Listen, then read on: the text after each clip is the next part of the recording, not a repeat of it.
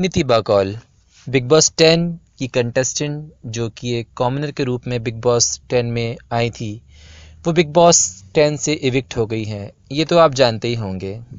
लेकिन क्या आप ये जानते हैं कि बिग बॉस से इविक्ट होने के बाद जब नितिबा कौल से पूछा गया कि वे मनवीर और मोनालिसा और दूसरे कंटेस्टेंट्स के बारे में क्या राय रखती हैं तो उन्होंने क्या कहा? आइए हम आपको बताते हैं कि उन्होंने क्या कहा। जब मनवीर के बारे में उनसे पूछा गया कि क्या वो मनवीर से आगे भी बिग बॉस के बाहर भी दोस्ती रखना चाहेंगी, क्या वो इनके अच्छे दोस्त हैं?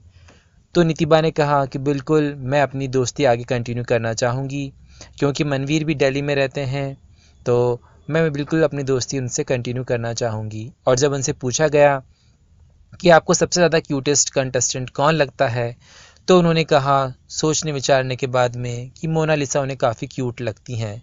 पर जब उनसे पूछा गया कि क्या मोनालिसा ये शो जीत सकती हैं, क्या वो विनर बन सकती हैं तो उन्होंने कहा, नहीं मोनालिसा विनर नहीं बन सकती हैं, परंतु वो क्यूट हैं। और जब उनसे पूछा गया कि उन्हें घर में सबसे ज़्यादा फेक कौन लगता है तो उन्होंने बानी और लोपा मुद्रा में कंफ्यूज होते हुए ये कहा कि उन्हें अब लोपा मुद्रा फेक नज़र आती हैं जब वो लड़ाइयाँ करती हैं तो उनकी लड़ाइयाँ फेक नज़र आती हैं।